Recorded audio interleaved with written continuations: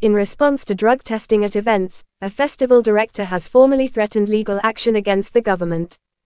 In a letter to Home Secretary Suella Braverman, Parklife creator Sasha Lord pleaded with Braverman to permit on-site testing in pop-up labs to proceed.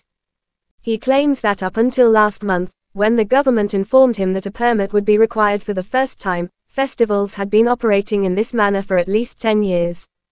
According to the government, a license has always been required for drug testing.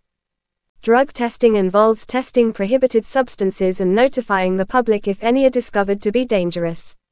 Larger festivals like Glastonbury, Reading, and Leeds have admitted to using private corporations to achieve this, according to BBC Newsbeat.